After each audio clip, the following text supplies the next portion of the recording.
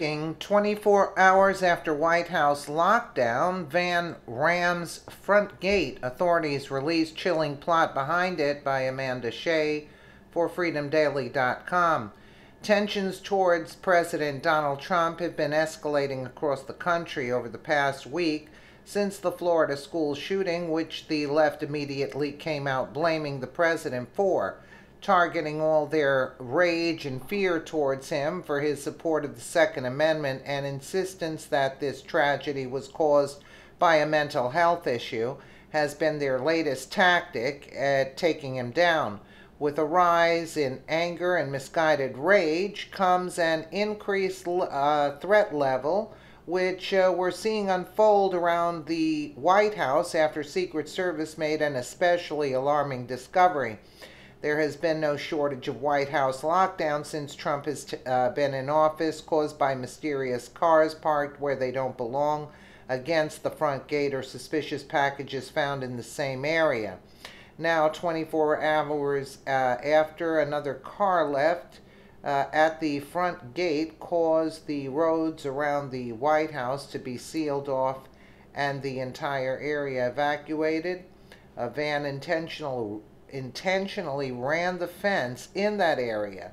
President Trump was inside the White House at the time of the vehicular attack. The driver is in custody, and authorities have uh, released what's behind these threats and today's attack. USA Today reports on of today's international ambush on the White House. The U.S. Secret Service has arrested a woman who authorities say deliberately drove her car into a security barrier uh, near the White House uh, Friday around 3:30 p.m. while President Trump was inside. The White House was on lockdown for about a half an hour. No shots were fired, and Trump, uh, who had a news conference planned with Australia Prime Minister Malcolm Turnbull, uh, was never in danger, according to the Secret Service. Turnbull was uh, also in the White House when the lockdown was initiated and left around 4 p.m.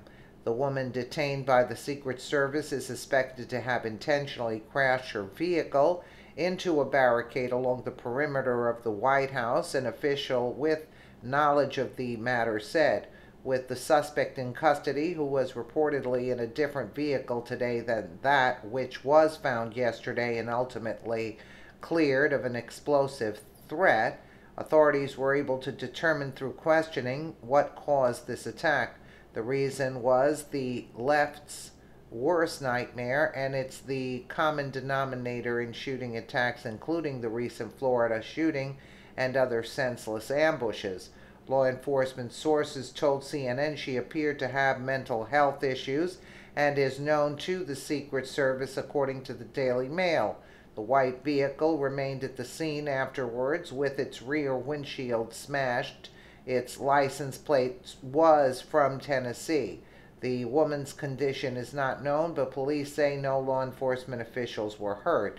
NBC News said the, that the woman's name was not immediately released. There's no word if or when that will happen. However, it's become evidently clear within the past week that mental health is a major issue in America, leading to senseless attacks that could perhaps be prevented if the attention wasn't misguided on gun control as the cause. At, at the root of all of these ambush, uh, ambushes, threats, against our president or innocent citizens, calls for assassination and more senseless mass assaults as a person suffering unaddressed uh, mental illness.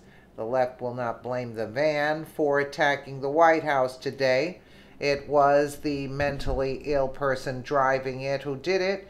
Is this because we can't ban vans using their gun control argument after the uh, Florida shooting last week? They should be uh, pressing for control on cars and tools of homicide. After all, this has been terrorists' late, uh, latest tool in an attack. They won't argue that this time, since it doesn't fit their narrative and the target was President Trump, who liberals dislike anyway, and often speak freely about assassinating. Every threat that's caused uh, the White House to go on lockdown in a little over a year has been from a deranged liberal who feels empowered to do these terroristic things. The left perpetuates hate against our president and conservative citizens and drives mentally ill people to do horrible things or at least threaten or attempt uh, them. Uh, maybe the, there needs to be control based on liberalism. The numerous security breaches at the White House since the Trumps have lived there is not because of him. It's due to the instability that Democrats instill in their liberal followers who are more than willing to do their dirty work. It began with a series of fence jumpers, then countless mystery packages found on the property. Now it's escalated to people ramming barriers with their cars. One can't help but wonder if all these failed attempts are test runs for a bigger uh, event than uh, homegrown terrorists or others are preparing for to uh, see what they could successfully get away with. Uh, it is uh, disturbing, you know, just one day later. I mean, this is crazy unbelievable. They, I don't know what to say. Doesn't seem like uh, the what they they don't show the clear picture of the gate, you know, uh, to see here. They just show uh, half of it. I don't know. The stop sign, I see the stop sign there. So why wasn't there a gate in the front of that, right? Why would she ram it into the stop sign only? Who knows today? They're all nuts. Let me know what you guys think in the comments below. And again, thank you so much for watching.